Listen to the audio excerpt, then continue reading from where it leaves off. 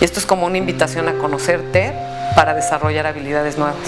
Tú entras al equipo de las histéricas el día que te vuelves una víctima y quedas en un estado de indefensión en el que dependes de un hombre y así te pares de cabeza con los dramas más grandes, con enfermedades o con cualquier síntoma que se te ocurra, no vas a obtener lo que quieres, porque lo que tú quieres es amor y no obtienes amor manipulando.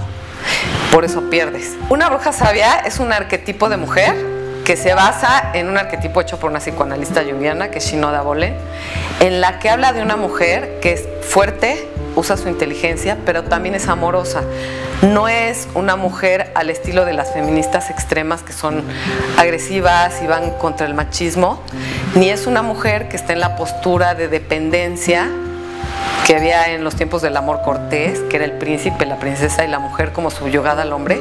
Es una mujer que está como intermedia y usa su conocimiento de una manera inteligente sin tratar de aplastar a los hombres. El conocimiento de nosotros mismos nos da la posibilidad de saber que nuestros papás hicieron lo que pudieron y hoy nos toca a nosotros decidir nuestra vida. Y no hay culpables. Nosotros somos los encargados de nuestra vida, nadie más.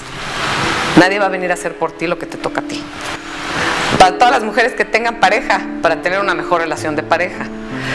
Pero a los hombres les gusta Muchos hombres modernos ya no son el típico macho alfa, sino que son hombres que también son sensibles, que son fuertes pero amorosos. Entonces también los hombres pueden desarrollar ese lado. A todos los que están sufriendo por amor, los invito a leer mi libro porque hay otros caminos de vivir la vida y la vida de pareja mucho más satisfactorios para nosotros.